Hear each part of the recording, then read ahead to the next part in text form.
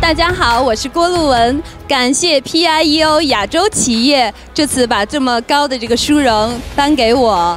我希望以后能够经常来到这边，来到马来西亚，把我们中国的文化以及影视界的这些交流多带到这边来。也希望马来西亚更多的呃合作呀，带入中国。